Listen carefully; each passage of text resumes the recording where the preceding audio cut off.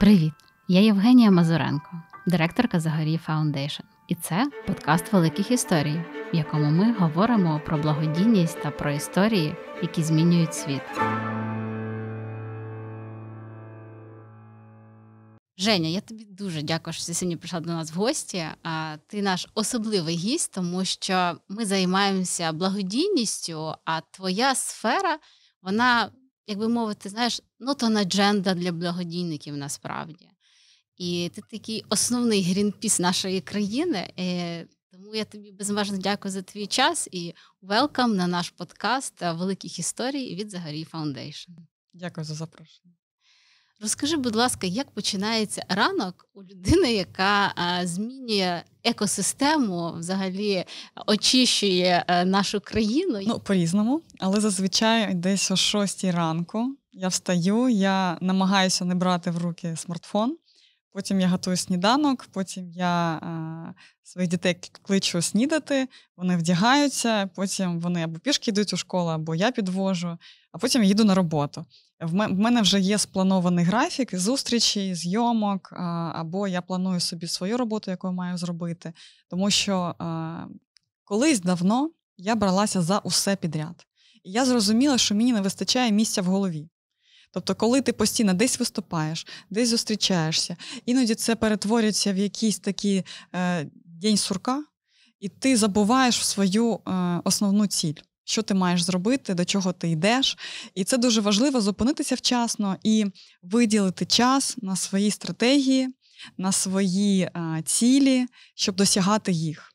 І тоді я почала вже відмовлятися, обережно ходити на зустрічі, обережно брати участь у передачах. Туди зазвичай йдуть мої колеги з нашої організації. І я зрозуміла, як це круто, коли в тебе в голові є вільне місце вільне місце, щоб подумати, щоб замислити, щоб от книжку про послухати. А, І це дуже круто, що я вчасно це зрозуміла, тому що це стало профілактикою вигоряння, і це стало можливістю створювати не знаю, нові сенси. А чим ти сьогодні займаєшся? Там, Наприклад, ти е, керівниця організації, чи ти головний стратег, чи адвокат е, теми? Е, розкажи. О, ну починалося з того, що я була все у одному. Тобто я писала статті, я робила інфографіки там безкоштовній програмі. Я ходила, робила е, репортажі і сама ще фотографувала. Пройшла курси фотографів. Е, я зустрічалася, я брала участь там у громадській раді при Мінприроди, кудись їздила у відрядження. Тобто я була один на один. І в мене ще одна дівчина була помічниця, яка займалася більше там запитами ззовні. А, І ми робили це вдвох. І коли в мене запитували, о, Україна без сміття така відома, а скільки вас? Я кажу, ну нас двоє. Вони, Як? Та не може бути. Я кажу, ну двоє, ну ще є водій, є ще сортувальник один, є ще один вантажник, ну і все. А тобто це запитували якісь е, громадські організації чи е, просто організації, які в сфері е, довкілля працюють, а в них там було там 20-30 людей, і вони, може, не робили такого там медійного впливу, і вони були дуже здивовані, як так мало людей це все робить. Але з часом, знову ж таки, через те, що я зрозуміла, що керівник має мати всередині оце вільне місце в голові, я почала активно делегувати. І це було болісно, чесно віддати комусь писати пости, віддати комусь фотографувати, відповідати на листи там великим компаніям. Да? І це має бути без помилок, це має бути чітко. І мені були боляче. Але я розуміла, що мої можливості сильно обмежені, і я маю це зробити, як би то не було. Не і делегуєш, дати... не масштабуєшся. Точно, точно, бо можна йти швидко одному, але піти далеко можна тільки разом. Як давно ти почала займатися е, організацією Україна без сміття? І взагалі, як ти до цього прийшла? Ким ти була до? Ти ж не вчилася на еколога? Зараз буде така довга історія. Е, я завжди знала, що я хочу займатися чимось таким, що змінює світ. Я попрацювала на різних посадах. Я була і директором по рекламі, і маркетинг-директором, я була проджект-менеджером. Тобто я себе бачила людиною, яка є такою правою рукою якогось підприємця, дуже амбітного, який хоче завоювати увесь світ. Тобто я знала, що я там поруч буду дуже ефективною. Я ніколи не думала про те, що я сама можу бути такою людиною, першою людиною. От, ну Це таке, це стереотипна е, поведінка, це через виховання жінок в Україні. Ось така ситуація складається. І ось я, коли певний час попрацювала на посадах, і коли в мене з'явилися діти, я зрозуміла, що я не можу так. Я не можу втрачати час, сидячи за комп'ютером. Я дуже швидко роблю роботу. Не завжди мені можуть надати ту роботу, яку я хочу. Це завжди вразливе таке становище. Тебе можна або звільнити, або там не підняти там у твоїй посаді. Тому я вирішила, що я хочу працювати сама на себе. І поки я була в декреті, я думала, а зроблю-ка я е, якийсь проєкт у сфері довкілля, сортування сміття, переробка, і почала займатися цим в 13-му, е, в 14-му році. Я тебе так слухаю, знаєш, декреті це ніби я відпочивала, і тут мені прийшла ідея. Чесно, я довго думала, я не знала, чим мені займатися. Мені ніколи не було страшно, що я там не повернуся да, в, в цей корпоративний сектор. Я не боялася цього, але просто я не знала, чого я хочу. Чи хочу я так, чи не хочу я так, скільки грошей я хочу, а чи буде мене драйвити ця зарплата? І це було дуже довго, це було незрозуміло, але з часом ну, мені пощастило, мабуть, мене винесло в ту сферу, яка мене сьогодні драйвить. І ось я почала сам з шляху соціального підприємця. Ми вивозили вторсировину з квартир, з офісів е, і одразу продавали. Одразу одного разу я на своїй автівці, це Nissan Note, відвезла півтонни паперу. Мені сказали, більше так не робити, бо автівки всі тобі потрібен смарт. да. І, ну, тобто, Ми після цього, почали вже змінювати свою діяльність операційну. У нас з'явився бусик великий з часом. Ну, як з чого починало? Ну, так важно сказати. Воно, знаєш, так органічно все накручувалося. Коли ти гориш цим, ти хочеш цього, ти бачиш можливості, які з'являються на твоєму шляху, і ти їх використовуєш. От сьогодні є підприємство. Правильно я розумію, і є громадська організація, і вони між собою працюють. Так, це феномен українського такої е, буття, да, бо е, перебуваючи в стані громадської організації, ми б завжди залежали від зовнішніх донейтів, донорів, е, чи буде в нас гроші, чи не будуть гроші. Е, дуже часто донори впливають на твої рішення. Вони хочуть, скажімо, саме такий проєкт, і саме на нього вони виділяють фінансування. А скажімо, якщо ти маєш маєш свою позицію і вважаєш, що ці гроші ефективно витратити ось так, не завжди ці погляди збігаються. Тому я зрозуміла, що для того, щоб диверсифікувати себе, щоб мати більше свободи, ми маємо бути незалежними від фінансових потоків. І ми почали працювати як соціальні підприємці, заснували послугу Зелений офіс, вивозили вторсировину з офісів, екопросвітництвом ми займаємося і далі. Тобто платні лекції, екскурсії. Зараз будуть онлайн-екскурсії на станцію сортування в зв'язку з ковідом. В нас є продаж товарів, які замінюють пластик. Деякі товари ми самі почали виготовляти. Ми продаємо вторсировину частково, да, яка Е, приходять до нас разом з нашими відвідувачами. Ми почали під час ковіду вивозити вторсировину з квартир. Це таке сортування під ключ. Тобто ви так само сортуєте, як і звикли, але вам не треба їхати на станцію, ми самі до вас приїжджаємо. Так само це послуги з утилізації, там безнадійний одяг, неліквідні пластики. Тобто ми шукаємо всі можливості, щоб люди не викидали сміття у довкілля, а знайшли їм кращий вихід. Це сортування, це переробка, це компостування. Навіть у нас з'явилася послуга ОБС-компост. Ми поки що не можемо приймати що лише ОБС-компост. ОБС-компост це ну, Україна без сміття. А, окей. Ми, до речі, в тому році скоротили свою назву, бо наші такі лозунги стискай, скорочуй, мінімізуй. Україна без сміття це дуже довго. УБС. Все, нас почали вже сприймати як УБС, і це нас такий на, наш меседж, що все треба стискати. І навіть е, ті тексти, які ми пишемо, вони дуже короткі, вони дуже зрозумілі. Ми поважаємо людей. В них багато інформації з усіх боків летить, і треба скорочувати, бо так ти поважаєш свого читача. От, Якщо говорити про ОБС компост, е, то е, в нас є залогові ведерця. Приходите на станцію, берете чисте ведерце, збираєте ту органіку за нашими правилами. Правилами ми тобто надаємо. Я приходжу, беру і забираю додому це відро. Да, порожні ведерці, там є бокаші, спеціальні такі мікроорганізми, накопичуєте. Коли воно наповнилося, приїжджаєте до нас, сплачуєте послугу і отримуєте чистеньке відерце. Вам нічого не треба мити, ми все самі зробимо.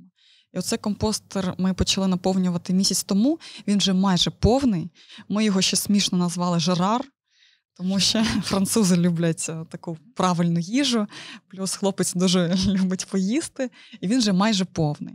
І через рік ми всім нашим користувачам надамо таке саме відерце повне органічне, органічного добрива цього компостного е, компосту. Щоб підкинути під улюблене дерево у дворі, а може під квіти, а може у горщиків в квартирі. А, як це виглядає? От для таких, як я, це е, ви маєте певний не знаю, space, де ви це все організовуєте. Да, Ми маємо станцію сортування, це орендоване приміщення. На жаль, ми не змогли знайти безкоштовного приміщення. Ми зверталися до КМДА, і нам сказали, що ну це ж Київ, тут нічого немає. Хоча треба пошукати комунальних приміщень достатньо, і ми цим будемо займатися. І, Тобто, ми винаймаємо приміщення вже майже 2000 квадратів. Там є приміщення для станції, там, де приходять люди і сортують вторсировину по контейнерах. Є близько 40. 40 видів вторсировини. Це майже як у Японії, в Україні. Кияни вже можуть сортувати. А в нас є поверх, де є досортування послуг. Скажімо, ми забираємо у вас вторсировину з квартир, і потім ці пакети ми досортовуємо. Саме тому послуга і платна. І для цього в нас теж є приміщення, і ми зараз плануємо поставити сортувальну механічну лінію щоб швидше це робити, щоб в нас була ергономіка процесу. В нас є приміщення, де ми можемо зберігати наповнені відерця з органікою. От протягом дня ви приносите на вихідних, воно зберігається, потім наші працівники відносять це в компостер, правильно перемішують це там, з листям, з землею, щоб не було запахів. І потім вони це миють. І для цього теж є облаштоване місце. А в нас є місце, де пресується вторсировина. В нас вже є ресайклінг-лабораторія. Вона починає розвиватися, бо в нас є певне обладнання. Ми вже можемо робити ось такі столешні з пластику переробленого. Для цього треба зібрати кришечки, нам принести, ми їх подрібнюємо, а потім запікаємо такі плити. І це теж е, такий наш меседж, наш спосіб доказати, що сміття не існує. Коли про, про нього піклуєшся, коли його сортуєш, коли гарантуєш його шлях подальше, не просто там в контейнер, да, сітку, як ми знаємо, може там не пощастить і його відвезуть теж на звалище, а саме доїхати до станції чи до пункту вторсировини, і тоді ти побачиш, як сміття перетворилося в ресурси. Слухай, я тебе просто заслухалась. А скажи, будь ласка, хто сьогодні підтримує Україну без сміття? Це ж не лише ваше підприємництво. Ну, підтримують люди, які нас відвідують в першу чергу, які замовляють нас послуги, купують нас товари, бо е, є багато зіровейськ е, крамниць, просто безліч в Україні. Така підігріта вже тема і сфера. Так, ось ми увесь прибуток. Е, з продажу товарів е, спрямовуємо на фінансування станції. Це і зарплати, це і оренди, всі поточні витрати. І в нас є е, можливість нам налагодити донейт, тобто людина може регулярний внесок щомісяця відправляти нам на через підтримку. сайт. Через сайт або через чат-бот, або ось зараз ми будемо е, відпрацьовувати веб-ап, тобто додаток, де можна теж легко е, оформити цей внесок. Звичайно, що ми хочемо, щоб це були регулярні внески, бо разові внески не допомагають нам планувати майбутні там інвестиції, витрати, і таких людей стає все більше. Іноді ми беремо участь у проєктах з бізнесом. Тобто відповідальний бізнес хоче показати, що їм теж не все одно, що відбувається з пакуванням, з деякими відходами, навіть органічними відходами. І вони роблять з нами спільні проекти. Вони самі до вас приходять, чи ви до них? Або вони до них, або ми до них. Ми вже не починаємо працювати як рекламна агенція. Тобто, у нас є певні ідеї, і ми запропонували там багатьом гравцям такі ідеї, які вони сказали, блін, нам такі навіть не пропонували в агенціях. Вони круті, ми з вами їх зробимо. І тобто, це можливість і е, розділити свій комерційний успіх з суспільством, сказати, да, ми працюємо, да, ми несемо відповідальність за те, що ми, ну, може, в чомусь теж беремо участь засмічення, тому що будь-яке пакування, паперове, пластикове, скляне, вони воно часто закінчує свій шлях у довкіллі, тому що культури сортування в Україні немає, інфраструктура не розбудовується, і саме е, через державний, державну політику вона не розбудовується так швидко, але компанію теж хоче пришвидшити ці зміни, і вони допомагають нам голосніше говорити з владою, що нам потрібно це робити швидше, що нам потрібно сортування, не імітація сортування, а саме справжнє. Тому ці проекти з бізнесом вони е, як рекламні кампанії сортування сміття. Да, вони точкові, да, вони не можуть зібрати всю сировину по всій Україні. Але ми просто створюємо правильний такий дискурс у суспільстві, що да, нам це потрібно, да, бізнес має відповідати за повний життєвий цикл своїх товарів, і да, влада має приймати відповідні закони. Ми з тобою поговоримо про культуру. Ти а, щойно поговоримо. говорила про культуру українців. Знаєш, я в минулому році була на величезній фандрейзинговій конференції в Амстердамі, і туди з'їхались люди ну, з усього світу. І нас ділили на команди, і у кожної команди була тема. Але глобальна тема конференції була climate change. І от е, моїй команді були хлопці там з Африки, хтось з Америки, з Європи, і я з України. І от тема, і всі говорять: е, взагалі, я не хочу перебільшувати, але мені здалося, що люди просто е, літають десь е, в хороших справах, а ну там приземлитися не думали. І от тема була, як почистити а, океан. І треба було конкретно розробити проєкт, за яким якась там з наших організацій буде жити. І от я сиділа і думала, що я too far from here, знаєш, ну тобто реально дуже далеко. Я просто зрозуміла, що навіть для мене особисто, хоча я вважаю себе активною, проактивною громадянкою, що для мене це теж не є на порядку денному.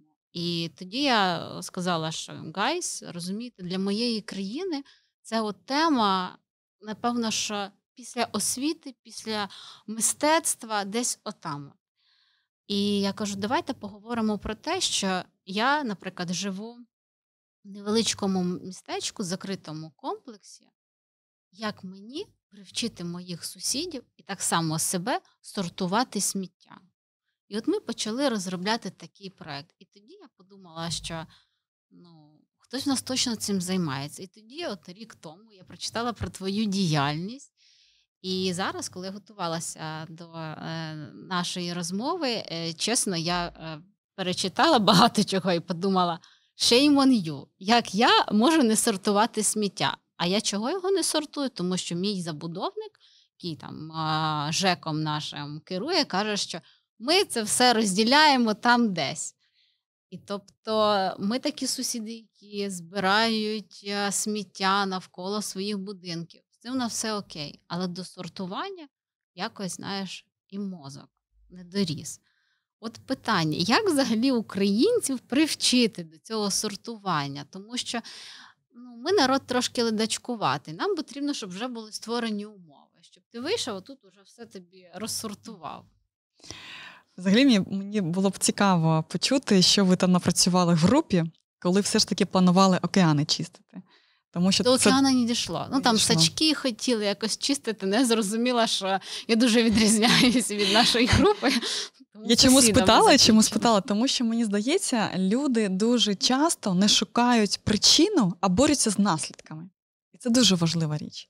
Ми Нам треба з'ясувати, де причина. Е, коли ми чистимо океан і збираємося чистити океан буквально, ми боремося з наслідками. якщо подумати, а як він потрапляє в океан, то тут відбувається якраз така логічна задачка, і я бачу, що вона там, вибач, зараз не по твого питанню, я до нього дійду. Але тут важливо подумати, як потрапляє пластик в океан, і він потрапляє як? Зі звалищ, які виходять до океанів. А через те, що люди не сортуючи, викидають там в річки, і воно несе кудись там в моря, в океани, і потім там збираються всі купі. Тобто мені здається дуже важливим, що треба шукати причину, а не боротися з наслідками. І коли ти говориш, як же привчити людей в Україні до сортування, от давайте подумаємо про причину. Да? Чи були в нас такі знання у дитинстві, у школі, в інституті, чи ми виросли е, з усвідомленням того, а що таке сміття, а що з ним треба робити, а що хто з ними взагалі робить. Коли я починала свою діяльність, я зрозуміла перше, що а, Мені було вже 30 плюс, і на цей час я не сортувала відходи. Я зрозуміла, що мене увесь час е, трішки обманювали.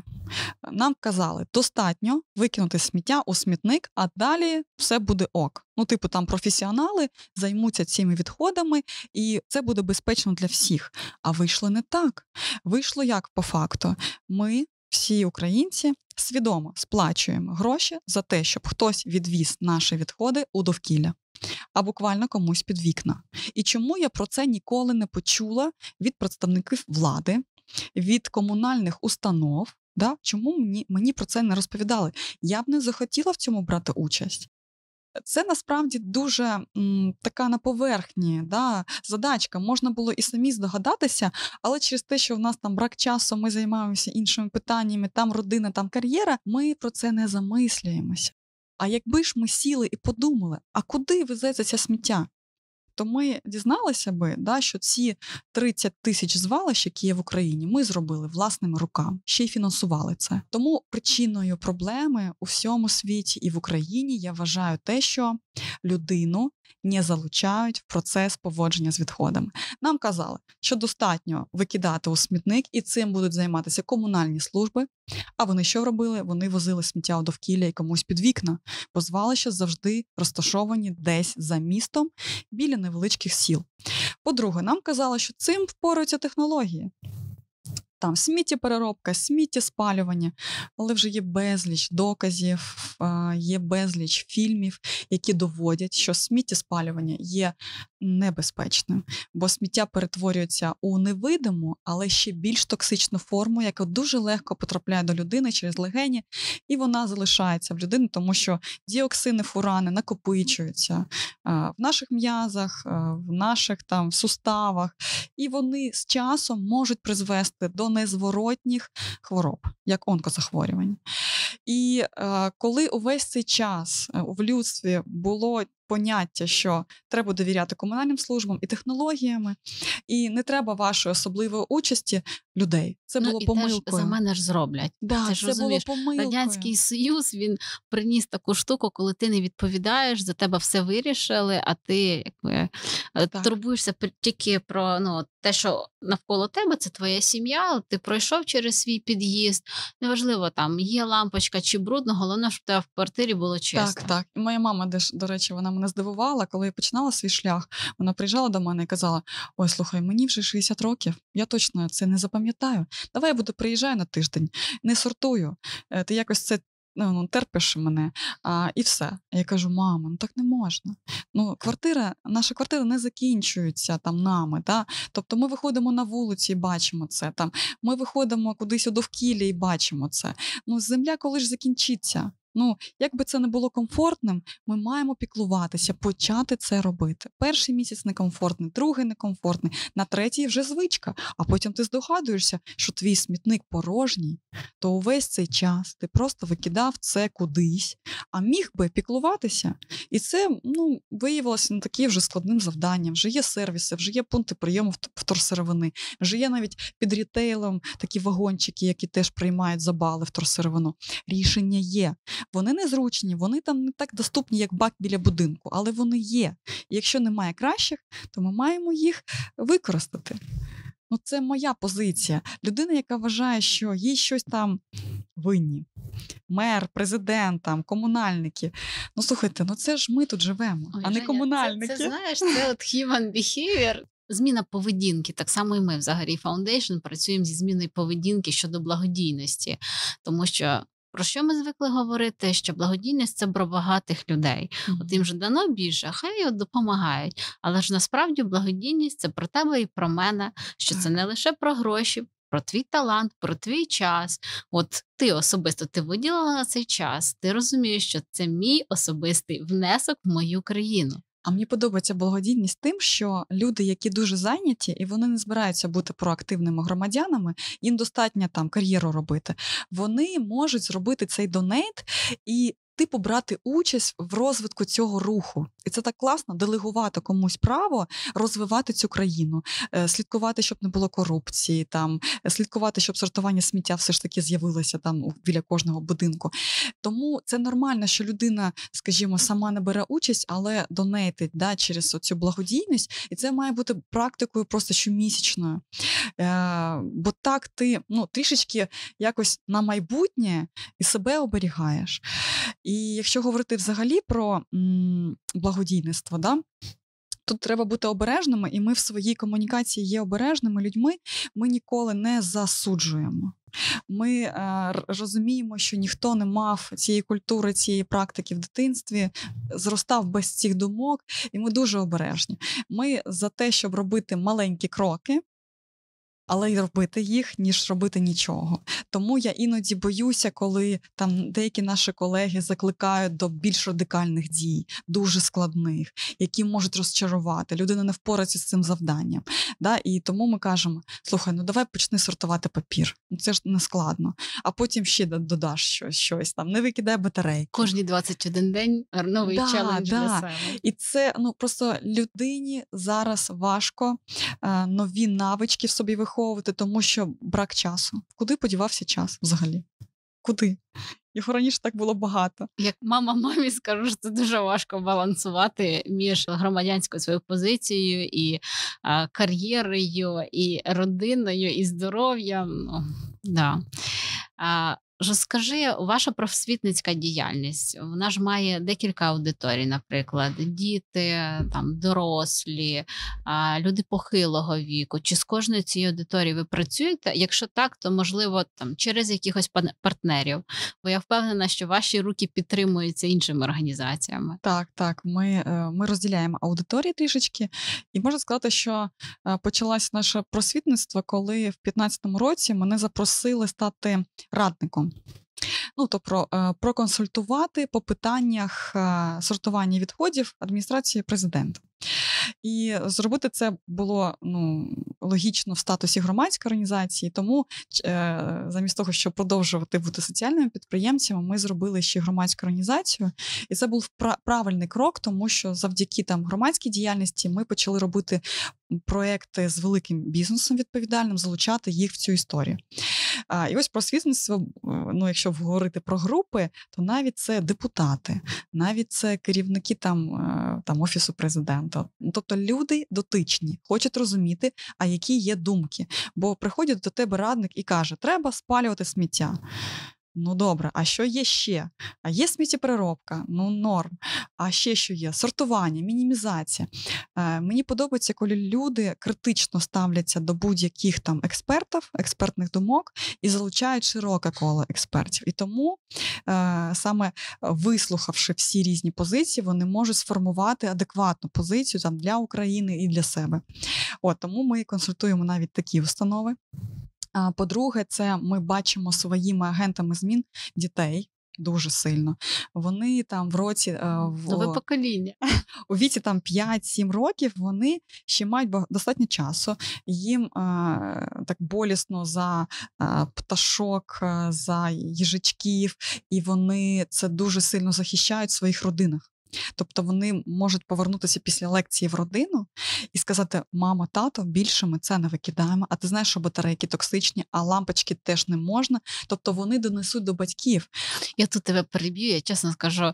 А коли я була маленька, я подивилася рекламу, де е, білочка біжить по лісу, і за того, що в мене тече дома кран в неї немає води. От мені сьогодні 31, я досі пам'ятаю ту білочку, і я е, виключаю ці краники постійно. І скажи, як вчасно, важливо вчасно цій дитині ці думки закласти. І зараз ми розробляємо проекти, які дозволять дітям взагалі через гру зрозуміти всі ці штуки, да, як все працює, які є наслідки, щоб вони це просто в себе так впитали, да, і вони, щоб це були базовими речами по всьому життю. Тому діти для нас є важливими. Дуже важливими є підлітки. Підлітки чому? Тому що ми бачимо рух там е, Грети Тумберг, А це він трішечки пов'язаний з підлітковим віком, коли дорослі не розуміють, вони роблять все не так, і це можливість сказати дітям, можна робити так, трішки дистанціюватися від ну, дорослих, які менш відповідальні, але Знову ж таки, ми хочемо їм сказати, щоб вони не робили революцію, щоб вони е, з розумінням толерантно ставилися до старшого покоління, але були трансетерами е, цих речей, да? не користуватися пластиковими кульочками, там брати свою чашку, соломинки банити, відмовлятися від них. Ну тобто, це теж такий рух. Тобто, діти і підлітки з дорослими дуже важливо працювати, і ми це робимо через офіси великих компаній. Нас часто запрошують на лекції. Це можуть бути it компанії це можуть бути там мобільні оператори, можуть бути виробники, тобто це що завгодно може бути. І ми приходимо в ці офіси, і наше завдання пропрацювати стереотипи. Людей і попрацювати над аргументами. Ми не приходимо домо одразу і кажемо: відмовтеся від цього, отакі то правила маркування, тому що поки в людині не сформований запит на це, поки він не зрозумів, що він це буде робити, тому що. Поки в нього є якісь, знаєш, такі непра... ну, скажімо так, е... вони отримали якийсь негативний досвід, да? сортували, сортували, викидали в смітник біля дома, а потім приїхала автівка і все разом е, вкупу змішала. І в них це був негативний досвід сортування. Так ось треба пропрацювати всі ці досвіди і напрацювати аргументи нові. І ми саме з цим працюємо, бо нам важливо, щоб кожна людина, вийшовши з нашої лекції, зрозуміла, я буду це захищати так само, як там я не буду а, дозволяти жорстоке поводження там з тваринами, я не буду там дозволяти сексизм, якийсь там в суспільстві. Тобто я сучасна людина, і я роблю це тому що не можна інакше, да? тобто не можна цього сьогодні не робити. Тому е, люди для нас теж є важливими дорослі, бо ми з ними можемо відпрацювати поганий їх досвід сортуванням да? і напрацювати аргументацію. І вони потім вже це будуть поширювати в компанії своїх друзів, в командах свого офісу. Тобто вони можуть бути теж агентами змін нашими. Ваша команда, вона насправді ж невеличка команда. Да? І от mm-hmm. я чую проведення зустрічей, тренінгів, і в мене зразу, Боже, як у вас на все реально вистачає. І а, вчора я прочитала про а, франшизу. Так. Розкажи, будь ласка, це е, я так розумію, що це.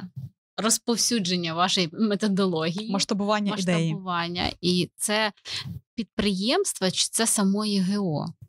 А, Зараз розповім, скільки в нас людей. Я от нещодавно, ну. Просто запитала, в нас є операційна директорка, скільки в нас людей отримує зарплати? Вона каже: 45. Я кажу, як? Звідки? А звідки в нас гроші взагалі на ці зарплати? Тому що в нас нормальні ринкові зарплати. Там 8, 10, 15 і більше тисяч гривень на різні посади в нас є зарплати. І я трішечки, знаєш, так здивувалася, але це гордість, тому що в тому році ми зробили звіт, і виявилося, що ми заплатили державі податків а, на 4 мільйони гривень. Ми могли б відкрити дві станції сортування, класні, але ми заплатили податки, тому що в нас люди працюють офіційно. А, І якщо говорити про, про франшизу, то дійсно це для нас стало можливості швидше розкривати е, відкривати станції сортування у різних містах. До нас постійно звертаються активісти. Хочемо таку станцію у себе. Е, допоможіть нам, розкажіть нам. І в той час, коли ми отримували ці запити, в нас самих не було впевненості, що це спрацює, що у цих активістів е, буде достатньо коштів виплачувати вчасну зарплату, там оплачувати оренду. Ми б не хотіли Бо асоціація ж то є з вашим брендом. Да, тому що всім здається, Боже, в нас так все круто, і ми так полетимо, що в нас теж буде все чудово. Але я ж кажу, оця складна диверсифікація, коли є послуги, коли є продажі, коли є освітні компоненти, компонент, коли є проєктна робота з донорами, там з компаніями відповідальними, все це і створює нашу фінансову модель. І, мабуть, якби не було такого сильного бренду Україна без сміття, і ми б не були настільки забезпечені фінансово, щоб там досі протрималися на цьому ринку. Тому що е, будь-хто інший, відкривши таку станцію там в іншому місті, може прогоріти, і це, знаєте, така зіпсована доля, може, це гроші родини. Ми б не хотіли цього, щоб це відбувалося. Тому ну, ми взяли це, час. Ну слухай, це це якраз ваш бренд. І от так. дуже важливо, щоб Стандарти. той да, щоб той сервіс в іншому місті так. розумів, що а, в нас є цінності, є, стандарти, і вони мають обличчя. повторюватися. І тому ми а, е, відпрацювали цілий рік. Ми збирали дані, ми вже маємо доказову базу, можна так сказати. Ми вже підтри, е, підтвердила фінансову модель разом з Franchising Group. Я проходила там навчання, і вони дуже сильно вірять в нас. Вони вважають, що це просто франшиза там майбутнього. Вона сподобається всім. Ми вже знаємо обличчя нашого франчайзі, і це не завжди а, там просто підприємці, це можуть бути і компанії навіть. А громадський діяч.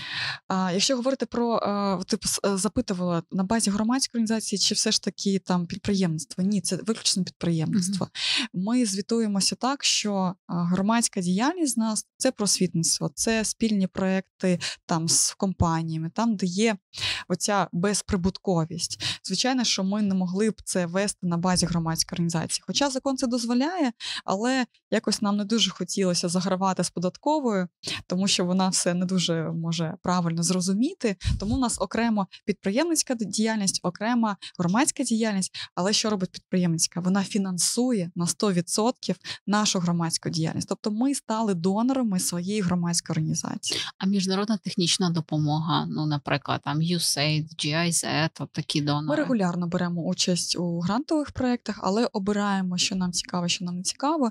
Що ми зрозуміли, ми мали досвід роботи з однією організацією європейською. Ми не можемо так довго робити проекти. Ми настільки гнучкі, динамічні, ми маємо свою думку. Що знаєш, коли ти проводиш там два тижні на перемовинах, потім три місяці ведеш звіт. Ми зрозуміли, що ми так не можемо. А ми... знаєш чому? Так. Можете собі дозволити. Так, так, так.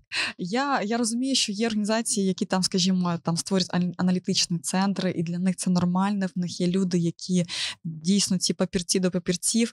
Нам це складно. Ми надто швидко от я, рухаємося. чесно, хочу тобі зробити просто комплімент. Я тебе слухаю, і ти для мене от а, новий потік цієї громадської діяльності, коли керівник розуміє, що він не може залежати від донора, тому що, як ти правильно сказала, донор замовляє музику, і тоді та місія, для якої була створена організація, вона не завжди здійснюється. Насправді так. для цього потрібно бути самим sustainable і заробляти на себе кошти. А це насправді не дуже притаманно нашому громадському сектору. Ну ми поки що на 100% звичайно себе не не забезпечили фінансами. Сподіваємося, що ця франшиза вона і дасть нам необхідні інвестиції, щоб ми мали і свої там лабораторії да, які е, могли б досліджувати там переробку пластиків, які сьогодні не переробляються, щоб ми могли ставити е, інфраструктурні об'єкти класні. Це плани на 5 років вперед, на 5 чи 10-30? На 5, ні, на 10 це дуже складно. У нас взагалі плани там комунікаційні це два тижні максимум, тому що все швидко змінюється. Але в мене, в моєї команди стратегічно є план на 5 років по фінансах, по цілях, що ми маємо там здійснити. В нас є в планах завод. А як карантин змінив? Плани? А, Знаєш, я зрозуміла, що Боже мій, я така витривала людина, я взагалі не злякалася.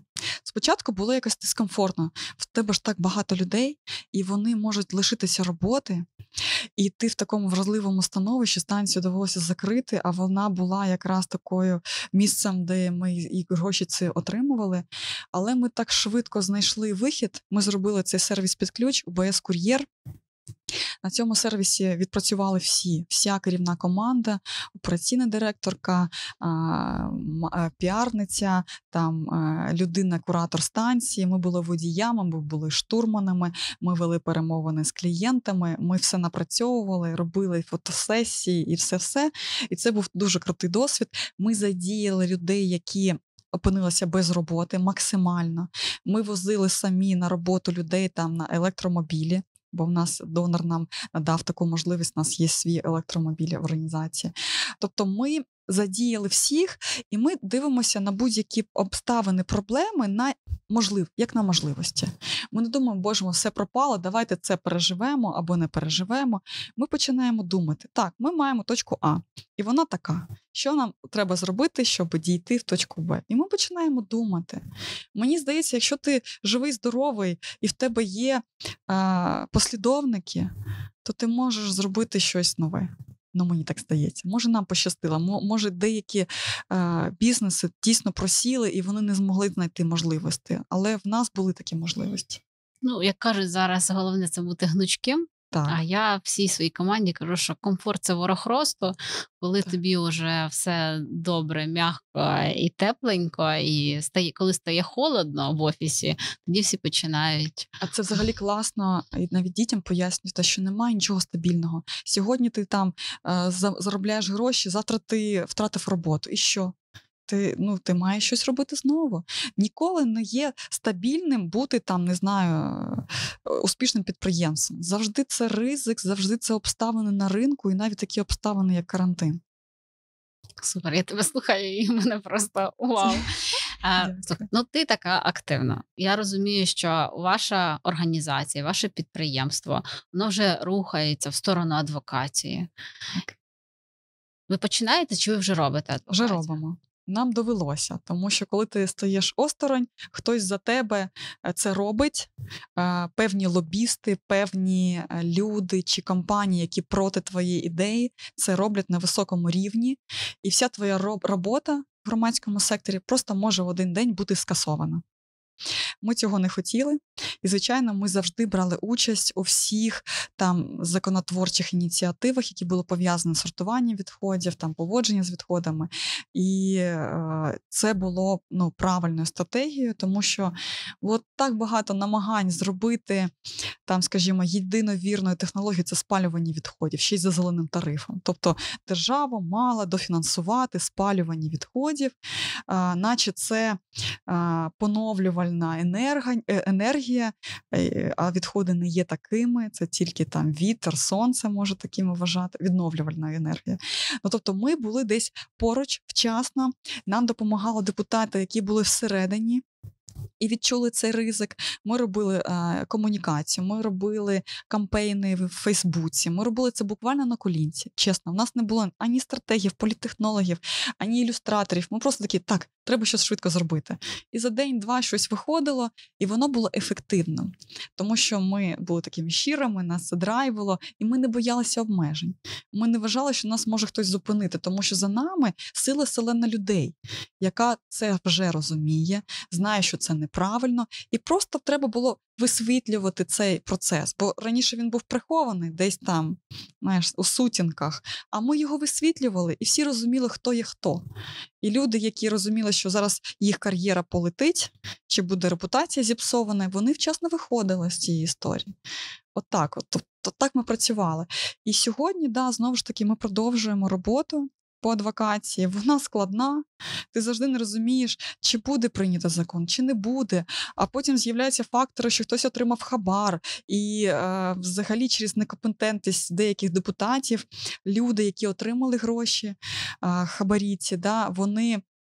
Просто купили буквально цих некомпетентних людей, тим, що вони їм розповідали, що отак правильно. Ну, Треба розуміти, що в Верховній Раді не всі фахівці там по всіх питаннях. Тут тільки побудуєш стосунки з міністерством, як бац, а його вже поміняли, і знов треба будувати. Ну, Добре, що повернули Міністерство е, захисту довкілля, щоб воно не не лишилося злитим з енергетикою. Це було помилкою. Я бачила в тебе на фотографії в Фейсбуці, нікуди не балотіруюсь. Так. Да? А, Ну зараз не балотуєшся. Ну я так розумію, що планка є. хотіла б, хотіла, да. там міністром екології. Не знаю, як будуть складатися обставини. Я розумію, що знаєш, іноді це смішно так виглядає. Ну там людина просто з громадського сектору і пішла там в міністри. А я вважаю, що всі люди на таких посадах вони в першу чергу мають бути ефективними топ-менеджерами і збирати фахову в команду. От тут саме головне вчасно зрозуміти, хто недоопрацьовує, а чи з'явилася людина з якимось прихованими поглядами, нечесними, нещирими. От що має робити там міністр, керівник і президент збирати якісну команду. Тому я. У майбутньому не боюся того, що в мене немає там фахової освіти.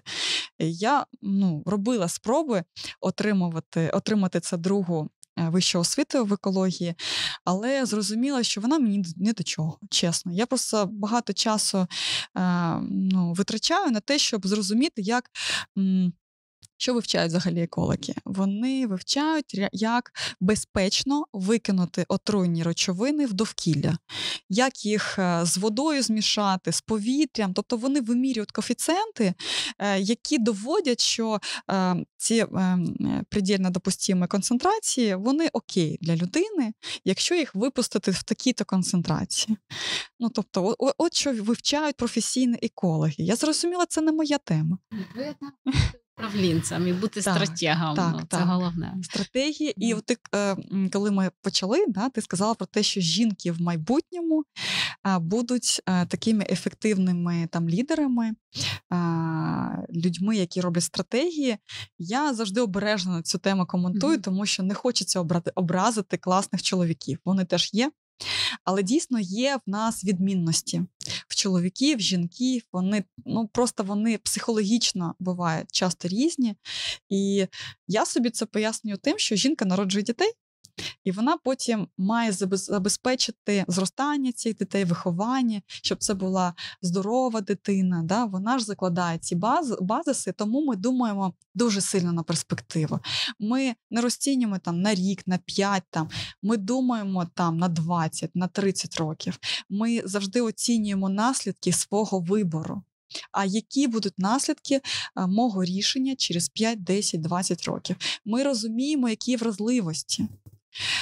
Е, не хочу сказати за всіх чоловіків, але от серйозно, чоловіки думають тут і зараз, і як це спрацює на бюджет, на ефективність там, на економіку. І це теж добре. Але жінки мають стояти поруч і бути повноцінними учасниками цих рішень, тому що вони знають не тільки радниками, як ти на початку да, казала. Да. Вони вони відчувають цю вразливість. Вони можуть вчасно сказати: ось тут є слабке місце цьому рішенні. Давай його приймемо отак. Тому я вважаю, що такий інь і янь правильний, і дуже важливо, щоб всі чули один одного. Я думаю, що взагалі сила в партнерстві. Так. Просто суспільство так часи складалося, що жінки трохи засиділись. І я, коли зараз дивлюсь на мам своїх друзів, розумію, який потенціал закладений в цих жінках. Але вони виховували дітей і зараз, наприклад, важко можуть себе реалізувати. Я чесно кайфую від того, які в нас є сьогодні можливості, так. тому що передам привіт своєму чоловіку, але це незамінна моя підтримка, який щодня мені говорить, що я не така, як всі, і що в мене вийде. Напевно, що він вірить в мене більше, ніж я. І тому зараз у нас є донечка, якій два з половиною роки. І як ти сказала, я дивлюсь на 20 років вперед. Uh-huh. Тобто я, звичайно, дослухаю, що їй подобається, бо вона нас дуже красиво співає. Я не буду проти, якщо вона буде співачкою, але я розумію, що так, я хочу вже цей садочок, тому що там можна буде попасти в американську так. школу, а далі кращі так. університети і поїхати. Да, мама стратег. Женя, я тобі дуже вдячна. Я думаю, що ми за кадром поговоримо про глобальні проекти.